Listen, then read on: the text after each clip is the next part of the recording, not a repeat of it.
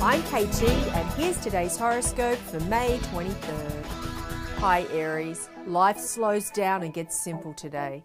You're relaxed and easygoing, which could be quite a change from the usual amped up lifestyle. Sometimes it's nice to get some downtime. It's a good day for sharing a meal or a conversation with a good friend. Many people are in the mood to connect in a natural, mellow way. Take advantage of this slow paced vibe since it won't last for long. Today's horoscope was brought to you by Date.com. Make a resolution to fall in love this year. Be sure to visit theastrologer.com slash date.